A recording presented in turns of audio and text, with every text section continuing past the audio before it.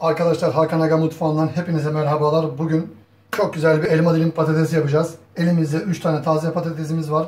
Soymuyoruz. Hemen elma dilim olarak dilimliyoruz. Şöyle. Evet patateslerimiz hazır. Şimdi baharatlayalım. Evet şimdi baharatlarımızı atalım. Ondan önce şöyle az bir yağımızı gezdirelim bunların üzerine hafiften. Evet. Şöyle kekiğimiz var.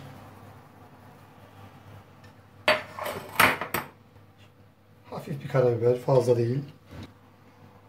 Çok hafif bir kırmızı biber. Şöyle tuzumuzu da ekliyoruz. Arkadaşlar Hakan Aga'nın farkı olsun. Patateste zerdeçal. Şöyle hafiften bir zerdeçal ekleyelim. Bu da tamam. Şimdi bunları güzel bir karıştıralım. Harmanlayalım arkadaşlar. Zerdeçal patatese çok güzel bir sarılık veriyor. Püresinde de kullanıyorum.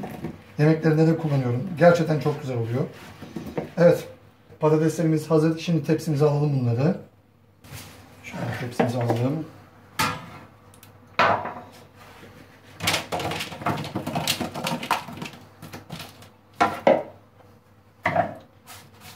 Evet.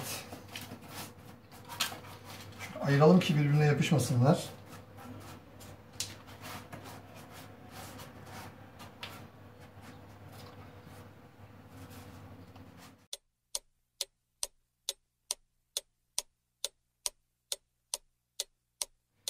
Evet patateslerimizi bir alalım bakalım.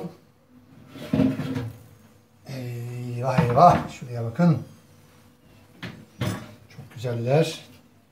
Şöyle.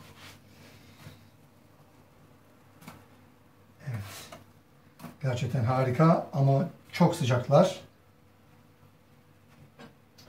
Şimdi bu arkadaşları şöyle tabağımıza alalım. Evet arkadaşlar patateslerimiz hazır. Gerçekten çok güzel görünüyorlar ama çok sıcaklar tadımını yapamayacağım. Arkadaşlar kendinize çok iyi bakın. Hakan Aga Mutfağı'nı takip etmeyi unutmayın. Videolarımı beğenmeyi, kanalımı beğenmeyi, tavsiye etmeyi ama mutlaka tariflerimi denemeyi kesinlikle unutmayın. Kendinize çok iyi bakın. Lezzetle kalın.